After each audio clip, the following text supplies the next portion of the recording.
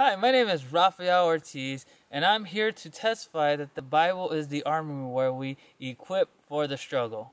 Isaiah 41:10 is one of my favorite verses, and it's really helped me when I'm feeling fearful or weak. And the verse says, Fear thou not, for I am with thee. Be not dismayed, for I am thy God. I will, up, I will help thee. I will strengthen thee. I will uplift thee with the right hand of my righteousness.